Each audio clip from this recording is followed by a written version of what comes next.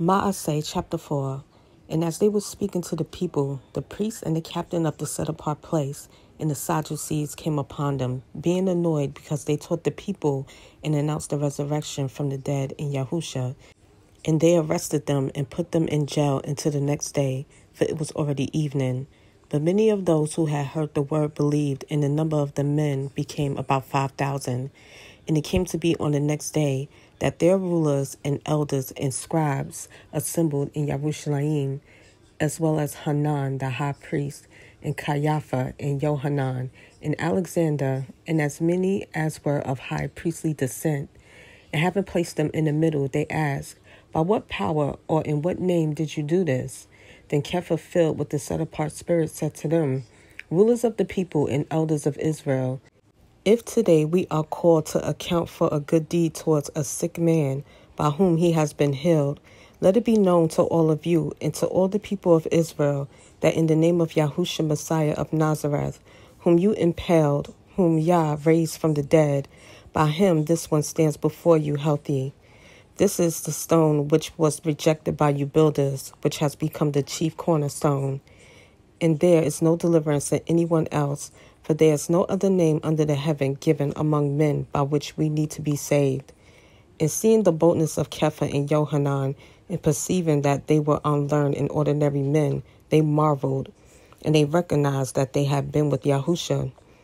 And seeing the man who had been healed standing with them, they could not contradict it. But when they had commanded them to go outside of the council, they consulted with one another, saying, What shall we do to these men?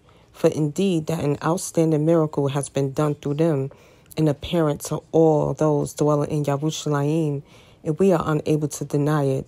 But in order that it spreads no further among the people, let us strongly threaten them to speak no more to anyone in this name. And they called them and commanded them not to speak at all, nor to teach in the name of Yahusha. But Kepha and Johanan answering them said, whether it is right in the sight of Yah to listen to you more than to Yah you judge. For it is impossible for us not to speak of what we saw and heard. And having threatened them further, they released them, finding no way of punishing them because of the people, because they were all praising Yah for what had been done. For the man was over forty years old on whom this miracle of healing had been done. And having been released, they went to their own people and reported all that the chief priests and elders said to them. And having heard that, they lifted up their voice to Yah with one mind and said, Yah, you are Elohim, who made the heaven and the earth and the sea and all that is in them, who by the mouth of your servant Dawid have said, Why did the nations rage and the people plot in vain?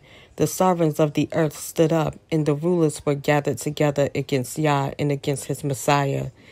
For truly in this city they were gathered together against your set apart servant Yahusha, whom you anointed, both Herodes and Pontius Pilate, with the nations and the people of Israel, to do whatever your hand and your purpose decided before to be done. And now, Yah, look on our threats and give your servants all boldness to speak your word by spreading out your hand for healing and signs and wonders to take place through the name of your set apart servant Yahusha. And when they had prayed, the place where they came together was shaken, and they were all filled with the set apart spirit, and they spoke the word of Yah with boldness.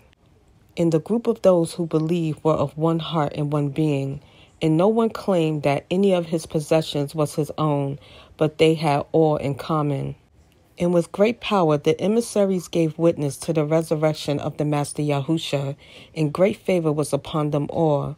There was not anyone needy among them, for all who were possessors of lands or houses sold them and brought the price of what was sold, and laid them at the feet of the emissaries, and they distributed to each as anyone had need.